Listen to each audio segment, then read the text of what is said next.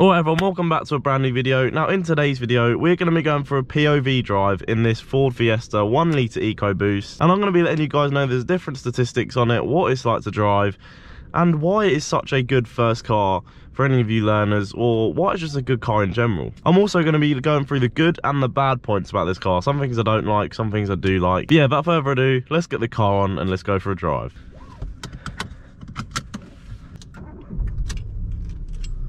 Okay, so as you can see, we are now underway, and uh, yeah, I'm going to be going through some of the different statistics that you guys may be interested in if you were going to buy one of these cars. So uh, yeah, without further ado, let's get underway.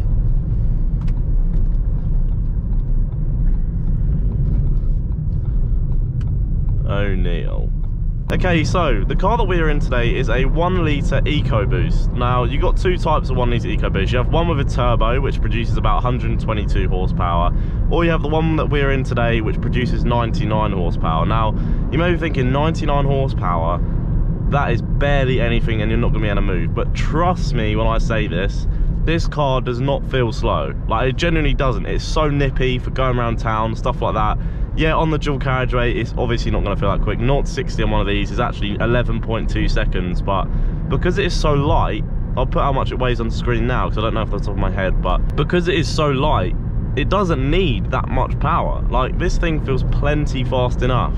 Now, one of the reasons why this car is so good as a first car is because it's so good on insurance. Now, because it only has 99 horsepower and is so small, it's very safe as a five-star NCAP safety rating it's just the insurance companies love it and there's such a common first car between these and the Corsas that yeah you will have no problem insuring this no matter who you are where you are it's just going to be cheap on insurance. Now the next big thing is that these cars are so economical and so cheap to run. This car in particular is doing 42.7 mpg now that is so good. Considering this car never ever goes on a motorway or dual carriageway it literally its whole life has just gone back and forth to the shops. And 42.7 mpg that is actually very good because short journeys to the shop stop start traffic it's not the best to get the most mpg out of it but the fact it um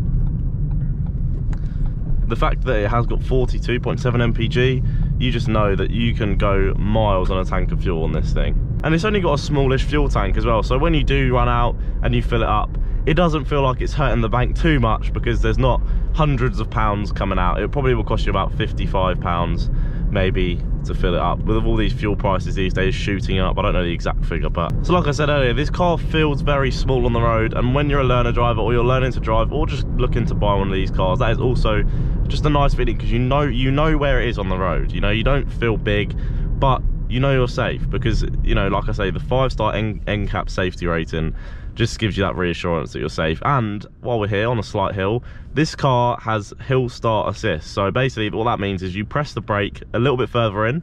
I don't even have to put the handbrake up as i release off. As you can see it didn't roll back there and it just sets off. Which is just another one of those little things that it's so easy to drive. And yeah just makes your life that little bit easier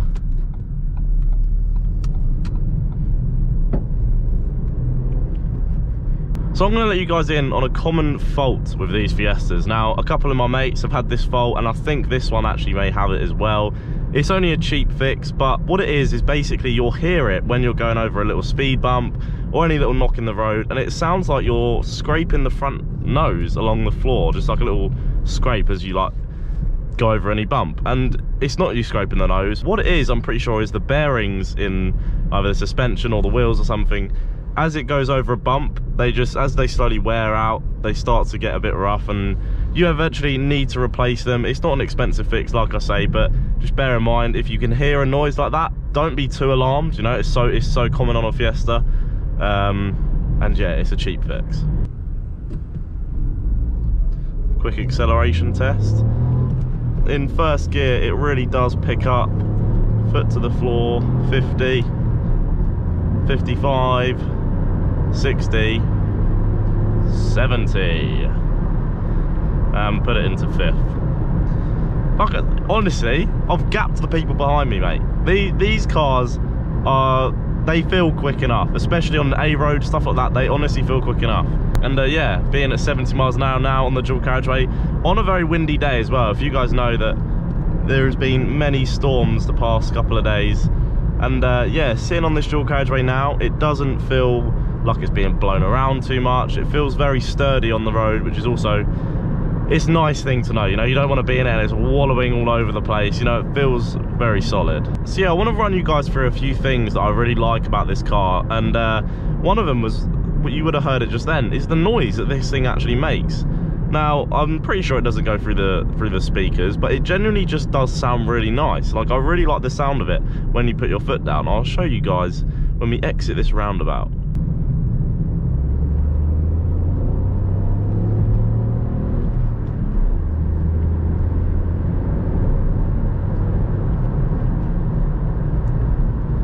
I mean, I'm pretty sure you guys will be able to hear that, but I just think this car sounds so, so good.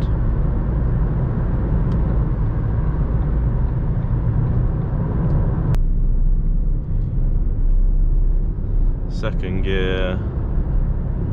Lower it. Well, yeah, generally, oh, it generally does just put you, put you back in your seat a bit. The old 99 horsepower engine does do bits, I'm not gonna lie.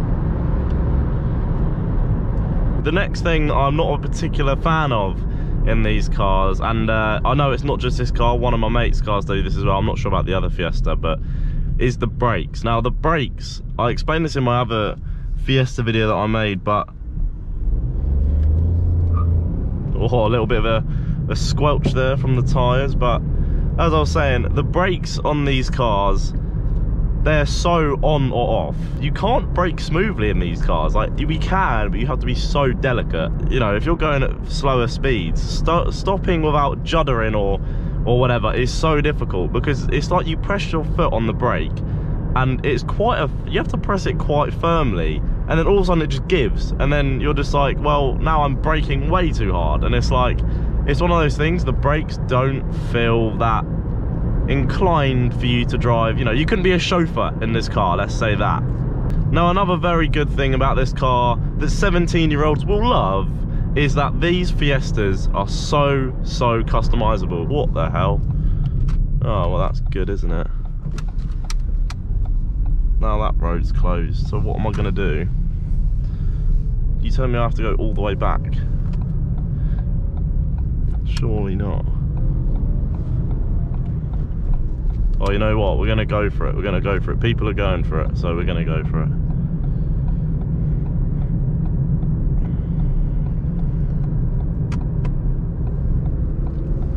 Why are so many roads closed today?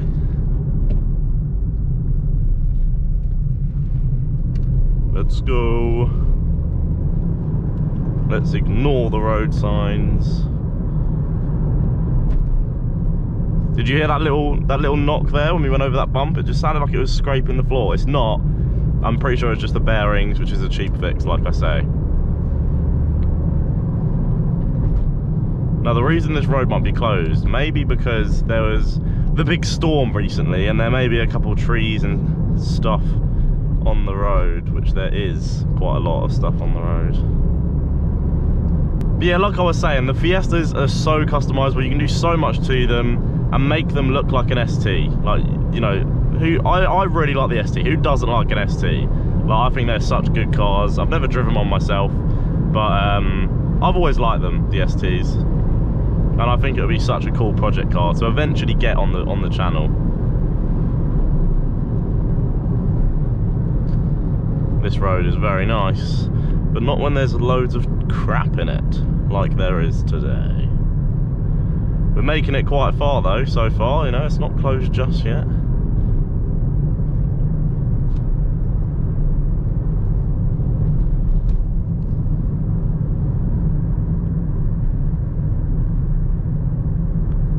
Oh, I see a thing. What's this thing?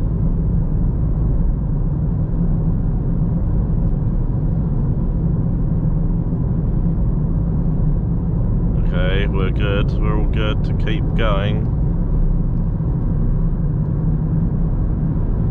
No one's, you know, flashing or telling me to turn around, so...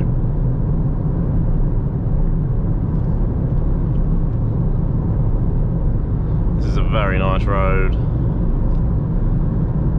braking, downshifting, through the corner, clip the apex, running out wide. Up into fifth. But this is such a fun car to drive, honestly. Plenty of power. I mean, it could do a bit more power, but plenty of power for a 17 year old. We're looking good so far, lads. Oh, what's this up here? Oh, it's okay. It's just a man chopping a hedge. Okay, we're still looking good.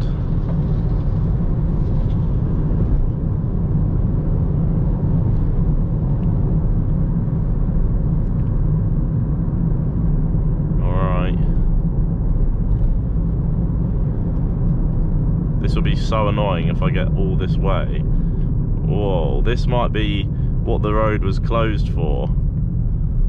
But we've made it through.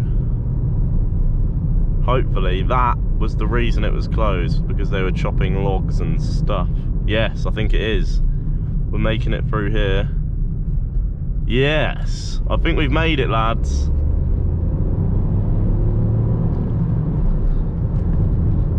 I think that was the reason it would have been closed, but I think we're good. Thank God for that. But yeah, I'm going to quickly do a section now where I'll just let you guys experience the car. I'm not going to say anything. And uh, yeah.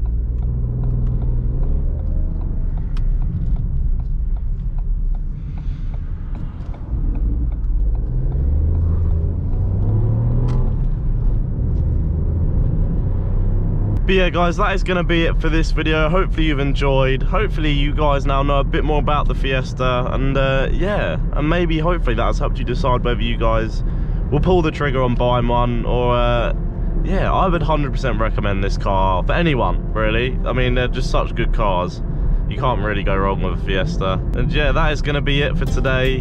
Leave a like and subscribe down below and also check out my Instagram as well down below. That'd be massively, massively appreciated. And uh, yeah, I'll catch you guys in the next one.